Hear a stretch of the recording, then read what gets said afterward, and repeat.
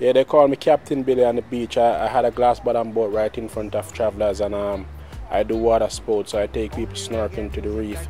And so far, the reggae marathon is a good thing um, for, for Negril. You know, it circulates for everybody. The hotel make money, I make money, I took people snorkeling. Um, the people who, um, who selling jewelry on the beach, they make money also. The people selling fruits make money, so it circulates for everybody. So it's a good thing for Negril.